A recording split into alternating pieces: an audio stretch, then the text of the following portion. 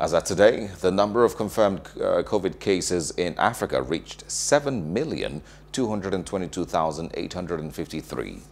The Africa Center for Disease Control and Prevention, Africa CDC, said the death toll from the pandemic stands at 182,452, while 6,344,958 patients across the continent have recovered from the disease. South Africa, Morocco, Tunisia and Ethiopia are the countries with the most cases on the continent. That's according to the Africa CDC. Meanwhile, Central Africa is the least affected region on the continent.